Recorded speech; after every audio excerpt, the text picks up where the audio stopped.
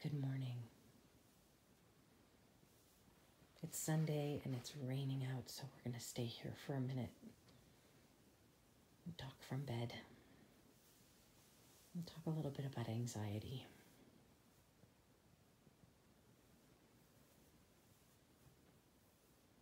Bedtime used to be a time that I looked forward to.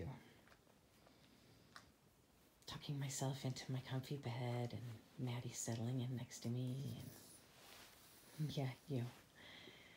And letting go of the day, turning on some nice music, maybe playing a, a mindless game to sort of turn off the world.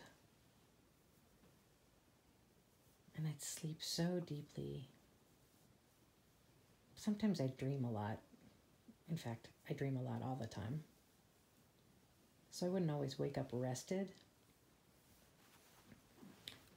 But I still loved bedtime and being in bed and snuggling with this one.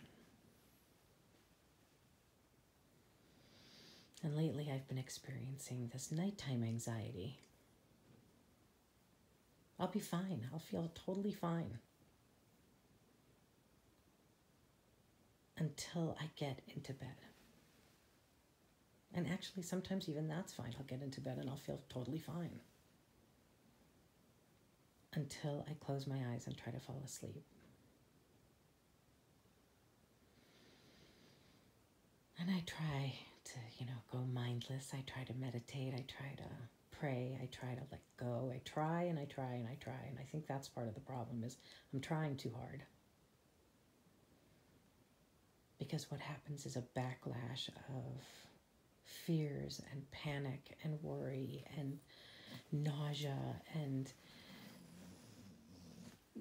thinking about you know well what if this and what if that? And and it's not even so much about what's happening the next day or anything. It's just what if what if what if? What if something catastrophic in the world happens? What if i die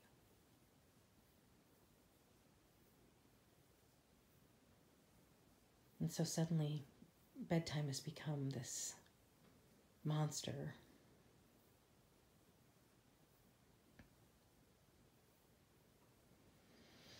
And even knowing that doesn't really always help because I tell myself, you know, Rachel, you know that this this is bound to it's bound to happen if you think about it. So just get into bed and think differently. You know, get into bed and remember how lovely it used to be and just focus on the now. Don't think about, oh, I hope it doesn't happen again, or what if it happens again. Don't think about that. Just be in the now.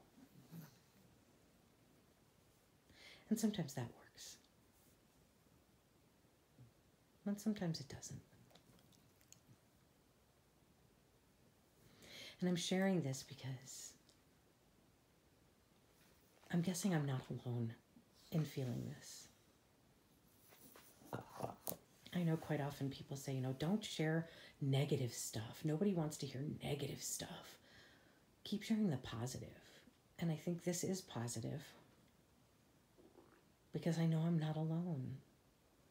I know someone else out there is hearing this and going, You feel that too? Oh, I'm not abnormal. I'm not strange. I'm not weird. We're not. What we are is in need of comfort and encouragement and support. And that's why I'm sharing this.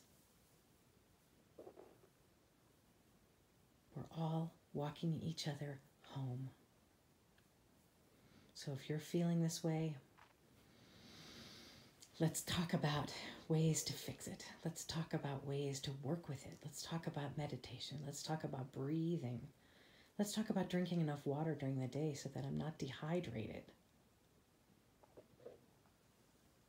Let's talk about the dark stuff so that we can walk each other towards the light together. Yes, ma'am.